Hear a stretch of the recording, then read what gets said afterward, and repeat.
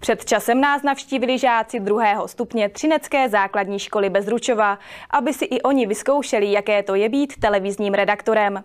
My jsme toho samozřejmě s naší kamerou využili a jejich návštěvu pro vás natočili. Základní škola se se svými žáky zapojila do dvouletého mezinárodního evropského projektu Erasmus+.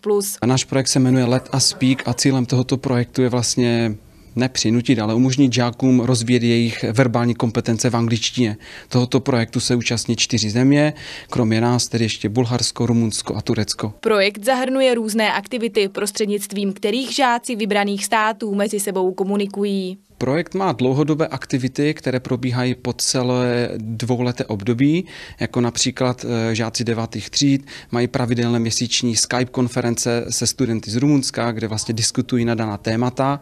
A pak jsou to krátkodobé aktivity, jako třeba zrovna tady tahle, kdy žáci se snaží v anglickém jazyce vytvořit nějaké spravodajství. A právě kvůli poslednímu zmíněnému úkolu nás škola oslovila. Součástí návštěvy byla ukázka práce redaktorů nejen v moderátorském studiu, ale především to, co se děje mimo něj, jako je střih a zpracování reportáže nebo nahrávání komentáře. Žákům jsme také ukázali to, co naše televize kromě zpravodajství vyrábí. Prajeme krásné prežití Vianočných sviatkov i šťastlivého nového roku. A otestovali jsme je u jednoduchého poznávacího kvízu. Nejvíce však všechny lákalo nasvícené studio se čtecím zařízením a kamerami. Hezký den na začátku u hokeje. V pátek 9. října hostí oceláři na vlastním ledě v rámci 9. kola Typ Sport Extraligy Haramčíkovu Kometu Brno. Já myslím, že to je obrovská zkušenost pro žáky, jednak eh, podívat se, jak ty zprávy se skutečně natáčejí a taky eh, vlastně mají šanci si to sami vyzkoušet, sednout si tady za ten stůl a vidět se na obrazovce. Původně byli vybráni dva žáci, kteří měli zpravodajství v angličtině načíst. Nakonec si to vyzkoušela téměř celá skupina. Magical Advent was the special day at elementary school of.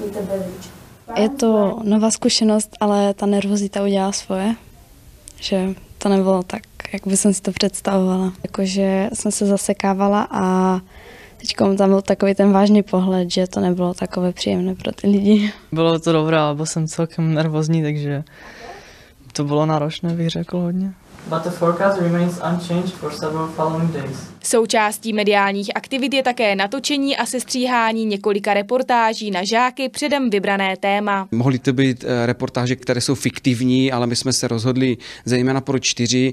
Jednak je to eh, smogová situace v Třinci, která nás často trápí, dále mm, nedostavěné, nedokončené nádraží, které momentálně v realizaci, náš eh, kouzelný advent, což byla akce pořádaná žáky a učiteli na základní škole Petra Bezruče pro rodiče a poslední výstava dvou mladých eh, umělců tady v galerii Třince.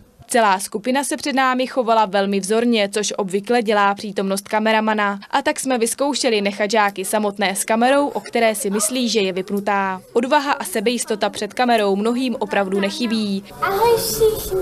A co něco z toho? Videa. A tak je docela možné, že se díky mezinárodnímu projektu Erasmus Plus stanou z těchto žáků zaměstnanci v médiích, ať už před či za kamerou. Ahoj. Počkej, počkej, to ještě zaplo, ještě jednou. To je ze společenské části Třineckého magazínu vše. Nyní je na řadě sport, už opět s naším sportovním redaktorem Marcelem. Mějte se hezky.